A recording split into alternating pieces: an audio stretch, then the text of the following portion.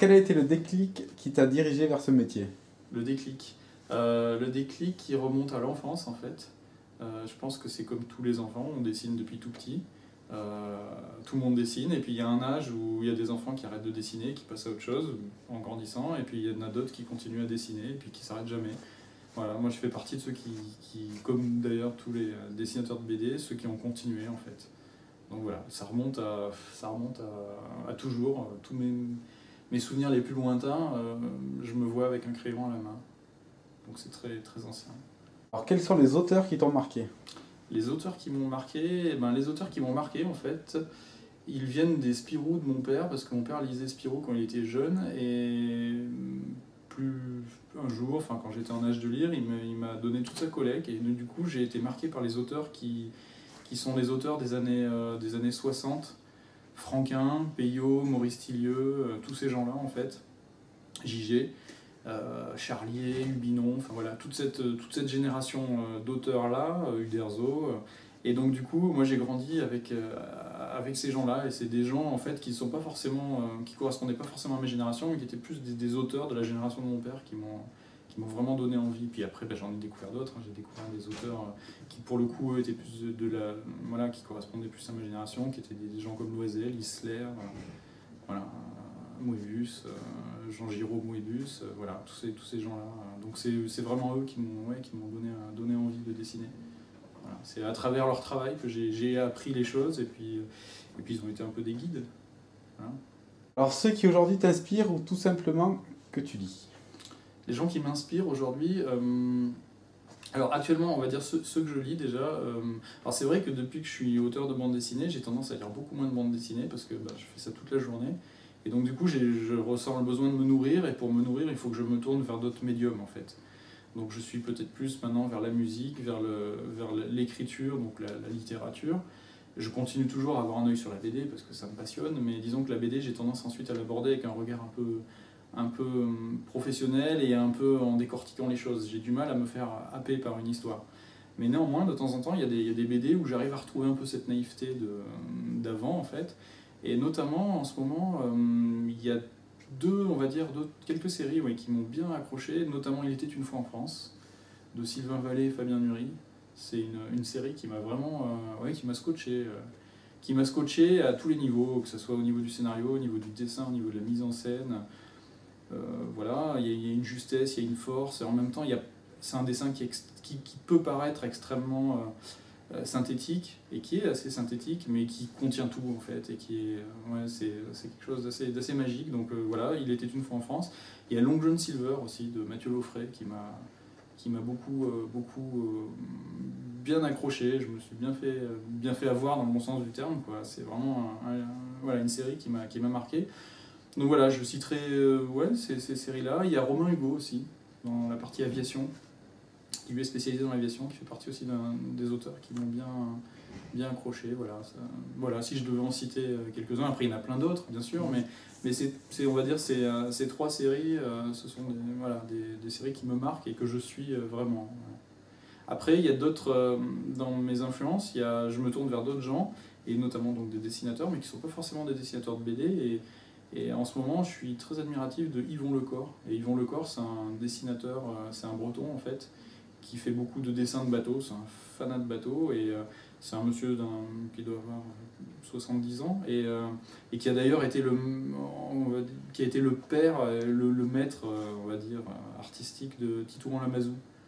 Donc c'est quelqu'un qui est très dans les carnets de voyage, les croquis, et voilà, graphiquement c'est quelqu'un qui me nourrit énormément, et, et quand j'ai besoin de fraîcheur et de me remotiver pour dessiner, c'est volontiers euh, quelqu'un que je vais voir et qui, euh, et qui a sûrement une influence parce qu'il a un trait, il a une force, une énergie dans son dessin qui fait que voilà, c'est quelque chose qui fait rêver, euh, qui moi en tout cas me fait rêver, vers lequel j'aimerais tendre sans forcément dire faire du vent le corps, mais il y a une espèce de ouais, d'envoler dans le dessin qui est, et de, de, lâcher prise qui est, qui est, assez, assez étonnante et vraiment avec, qui a beaucoup de force et beaucoup de, de justesse. Voilà.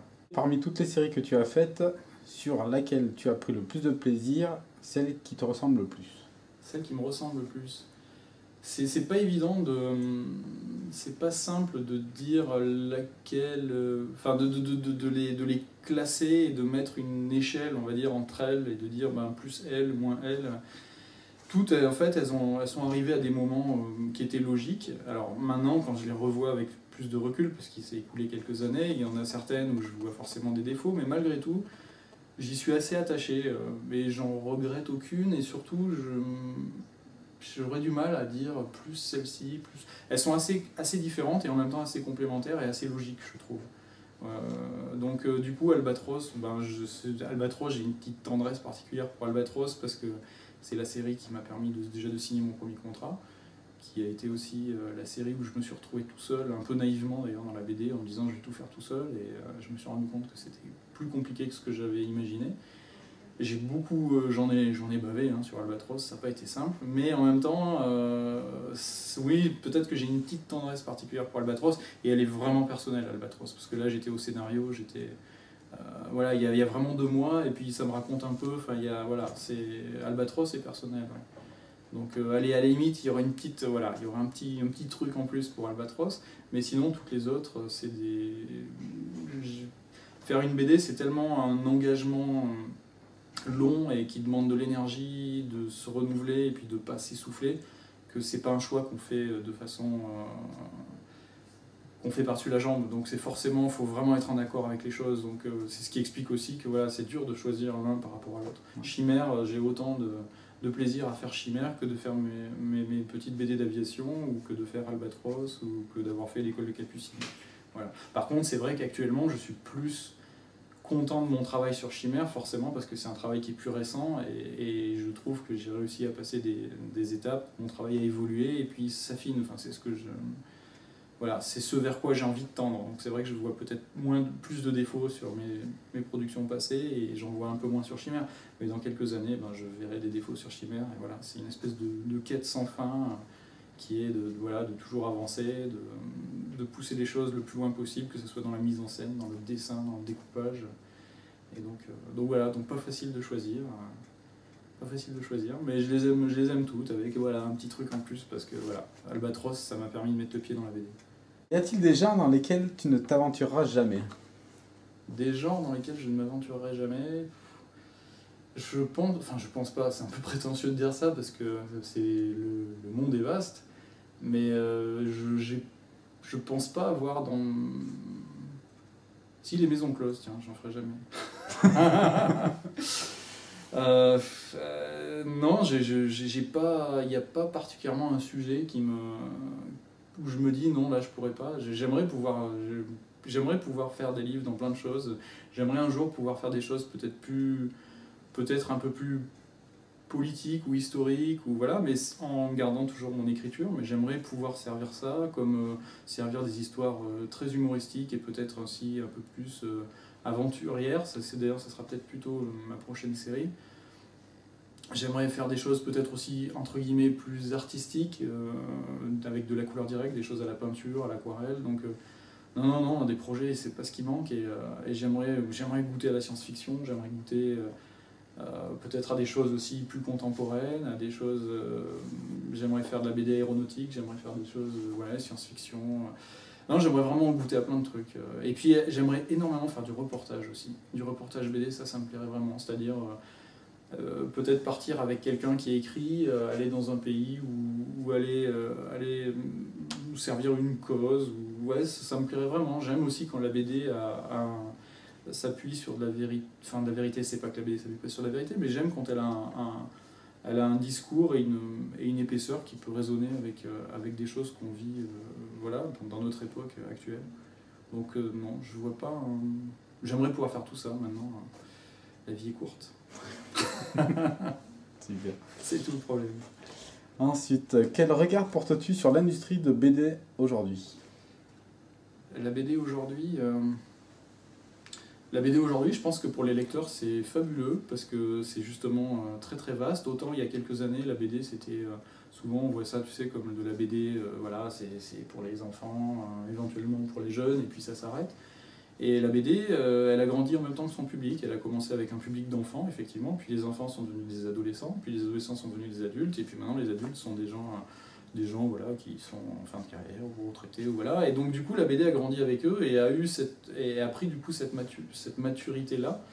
Et je trouve qu'aujourd'hui la BD est extrêmement riche justement parce qu'elle traite de tous les sujets, parce qu'elle va partir vers la littérature, parce qu'elle va partir vers la philosophie, peut-être vers de la politique, vers de l'histoire, vers aussi du divertissement pur et dur, parce qu'elle va créer des, des ponts avec le jeu vidéo, elle va créer des passerelles avec le, cinéma, le théâtre ou la danse. Enfin, tout est, euh, la, BD est très riche et, des fois elle est le point de départ justement vers d'autres médiums, comme d'autres médiums peuvent aussi nourrir la BD. Donc euh, la BD est devenue quelque chose de un vrai carrefour et, quelque chose où même des auteurs d'ailleurs pas forcément issus de la BD envie d'essayer. on voit, on voit aujourd'hui des, des, auteurs euh, qui viennent peut-être plus de la enfin, qui sont même de la littérature, qui viennent faire des scénarios de BD, ou des philosophes qui viennent faire des, séries de BD. Donc je trouve ça euh, super intéressant et euh, très, très, agréable, et puis ça renouvelle les choses et ça leur donne aussi une richesse. Donc ça c'est pour la partie grand public, c'est très intéressant. Peut-être que si on... L'inconvénient, c'est pas vraiment un disons que le, si, un petit peu l'autre côté de, cette facette-là, ce serait qu'il y a énormément de production et que, et les moyens de diffusion de la BD, ben, c'est les librairies, c'est les médiathèques, c'est tous ces lieux-là qui, eux, ne sont pas des lieux extensibles. Et peut-être que le, petit inconvénient de ça, c'est que beaucoup de choses sont produites qui, ont énormément de qualité. Euh, les temps de, de découverte ou de vie de ces livres-là sont devenus du coup très courtes. Euh, pour beaucoup de gens, c'est pas évident. Euh, les libraires euh, s'en plaignent souvent, c'est-à-dire qu'ils ont des, cartons entiers de livres qui arrivent avec des petits trésors à l'intérieur qui malheureusement sont jamais ouverts et puis qui repartent aussi vite chez l'éditeur parce qu'il n'y a, plus de, a plus de place pour les stocker et puis il n'y a pas forcément aussi le temps de les découvrir. Donc il y a peut-être des livres qui ressortiront, il faut espérer. Donc voilà, c'est un peu l'inconvénient de ça, c'est le, côté peut-être moins évident pour les livres. Les livres, on, se retrouve, j'ai l'impression des fois qu'on est un peu dans la même situation que le, un peu que le cinéma, c'est-à-dire qu'un réalisateur dit que le mercredi à la première séance, il est capable de savoir si son film va fonctionner ou pas. Et le livre, on n'en est pas à ce point-là, mais on sait dans les, premières, là, là les premières semaines, si le livre euh, a trouvé son public ou si, euh, si, ça tombe. Et dans les deux cas, effectivement, l'investissement est lourd. Pour un réalisateur, c'est plusieurs années de travail. Pour un auteur, c'est aussi euh, une année, voire des fois deux années de travail qui peuvent partir comme ça, disparaître.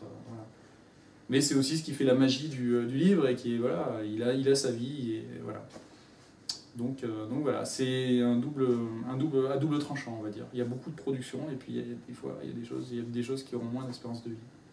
Si tu étais une BD Si j'étais une BD Pas réfléchi à cette question. si j'étais une BD Si j'étais une BD, je serais une BD d'aventure. Enfin, j'aimerais être une BD d'aventure, ça me plairait. Une BD où, euh, une BD où il y aurait, euh, ouais, ouais, il y aurait de l'aventure, des rebondissements, où euh, ça serait peut-être pas toujours facile, mais il y aurait des, petites tempêtes, et puis il y aurait des moments un peu épiques, et puis il y aurait aussi des moments plus calmes. Ouais, l'aventure, ça m'irait bien. Une BD d'aventure, euh, des embruns, euh, de la pluie, et, euh, un peu de galère, mais de la vraie, de la belle aventure, quoi. Voilà, ouais, de l'aventure, ça me, ça me plairait bien. J'aimerais bien être une BD d'aventure. D'accord. Ensuite, si Aurillac était une BD Si Aurillac était une BD? Si Aurillac était une BD, euh, ça serait une BD de contraste, je dirais, mais à tous les niveaux, euh, que ce soit en termes de scénario comme en termes graphiques. Euh, quand je pense, enfin, j'ai du mal à me cantonner à Aurillac d'ailleurs. Moi, je penserais plus à l'échelle du, département. Euh, je pense plus Cantal en fait. Et du coup, Aurillac, je l'inclus dans le Cantal et je penserais plus Cantal. Et le Cantal, en fait, quand j'y pense graphiquement, ça me fait penser à des choses extrêmement épurées. Quand on pense, je sais pas moi, voilà, le Puy-Marie, toutes ces crêtes-là qui sont super épurées, où il n'y a pas de végétation, juste une petite mousse, donc de la ligne claire. Et puis quand on redescend plus bas, il commence à y avoir une végétation qui est très florissante, qui est très généreuse. Et donc là, ça serait plus des hachures. Donc je pense que ça serait graphiquement une BD qui aurait des zones très calmes, du plein et du vide en fait. Des grandes zones de vide, mais avec des zones plus chargées qui feraient écho à ces zones de vide. Et je pense que graphiquement, ça serait ça, et scénaristiquement, ça pourrait être ça aussi.